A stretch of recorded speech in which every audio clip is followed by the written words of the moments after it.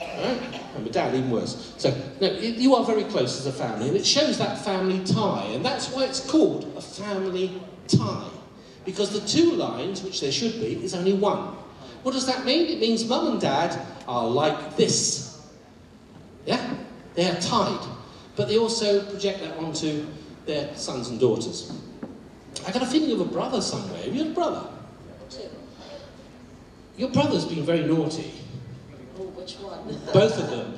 Oh, yeah. Okay? You were the good girl. Yeah. Too good to be true. Oh, yeah, it's marvellous.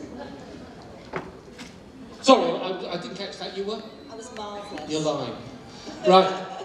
This line down here means that she has good health, but the headline being bent down here, she actually does bend the truth a little bit. We know that already, we've seen it. But I will tell you this, more than anything else, and I have to sum up really quick on here. The lines indicate, and I just want a yes or no, this is a career line running up here, the line running up the centre. If this is your life here, without the red book, you changed your work 27, 28, 29, and your 29th or 30th year, you changed the direction of your work, yes or no? Yes. Yes. That's all I want to hear. Palmistry works. Thank her, give her a clap.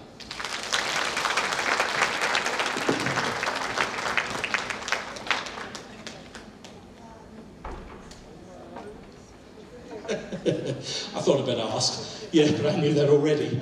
It's, she started this funny stuff. You know, the weird wonderful?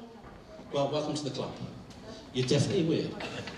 Right, now what I would like to do to finish, ladies and gentlemen, now I'd like you, because you, you're good, I need you, I need you.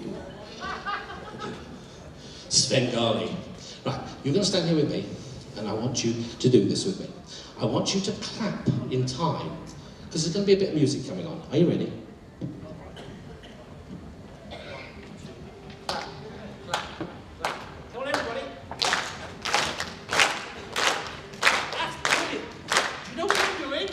You're warming up your hands for palmistry. That's good. I like it. It's not. She's leader. She's cheerleader. Now, look at her and clap along with her. If she gets it wrong, it's her. I will. Okay, are you ready? I'll tell you when I'm ready. It won't take a minute, honest. I promise. No, I'm not lying. Okay. Right. So. You ready?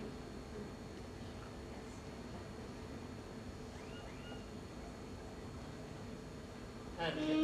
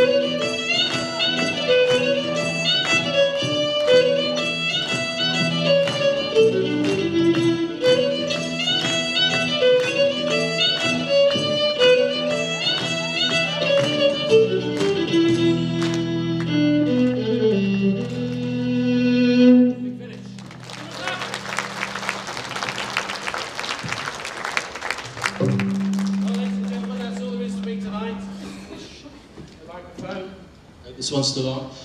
Thank you for listening. The last bit was my bit to give you because my hands do the work. And my guide, if you understand guides and mediumship, is that I have a gypsy guide who was a gypsy in the 1890s in southern Ireland. And he is as real to me today as I was playing for you tonight, because I play without music. I remember and I play. Where does it come from? The other side. Okay, thank you very much and thank you for listening. I hope you've enjoyed Palmistry. Good night. Ladies and gentlemen, please show your appreciation for Master Palmist, Mr. Robin Lown. Go and keep that applause going, I can still hear you backstage. Entertain you for over half an hour, Mr. Robin Lown.